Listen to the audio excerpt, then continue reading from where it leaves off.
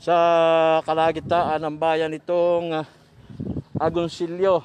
No, Agoncillo dito ho sa may ah, sa may southwest ng ah, Taal Volcano at ah, wala hong katao-tao na dito. Pampa, pa isa-isa na lamang ho yung naliligaw ng mga tao dito na bumibisita dito ho sa ano abandonado ang mga bahay yung mga sasakyan iniwan na lang kung saan saan ho naghambalang. Katulad ho nitong ah, owner type jeep na ito.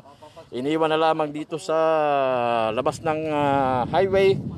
At ito ho yung kanilang ah, public market. Ito yan ho yung kanilang public market. Wala nang katao-tao ngayon. Oho.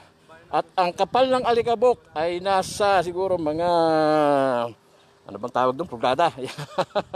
Uhum. At ah, wala hong ibang pumapasok na dito kung hindi itong patrol ng ah, PNP at saka itong ah, ilang sasakyan ng bombero na nagdadala, uh, nagpapat, ah, nagpapatrolya ho sila at baka meron daw hong mga mga masasamang loob na pumunta. Eh, pero sa tayuhong ito, eh, nako, wala na ho, siguro wala na hong maglalakas loob na mga wala na hong maglalakas loob na mga magnanakaw na masasamang na mag-isip pa ng ah, pumunta rito.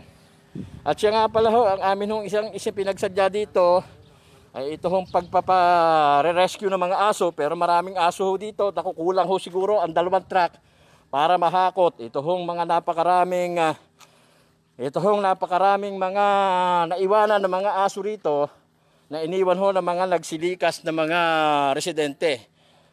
Buti na lamang ho at nakapagdala kami ng ah, dog food. Ito ho yung mga nagdadaan lang dito ng mga sasakyan. Kita naman nyo ho yung alikabok.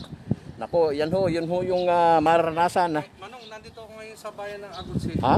Sinong manong? Oo, um, At uh, eto, kita ho rin nyo, siguro, may may din ho, lumilindol pa dito. At ah, yan, yan ho yung resulta ng mga sunod-sunod na paglindol. Meron ho. Ang nakakatakot pa ho dito, mga ginigilo ho namin kababayan, yun ho mga kalsada rito, nagkabitak-bitak na. Oho, meron ho mga malalaking bitak, lalo na ho itong papunta dyan sa bahaging yan ho ng, ah, ng dagat. Diyan ho kami kanina dumaan eh.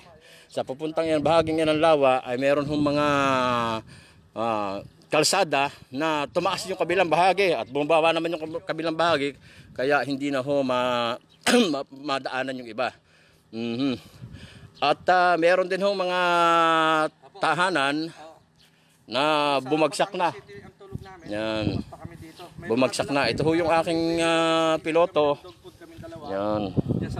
Nako eh, tingnan man ho nito mga kawawang mga aso nito na talagang tuntuwa kapag ho sila, nung sila aming madalhan ng ah, pagkain.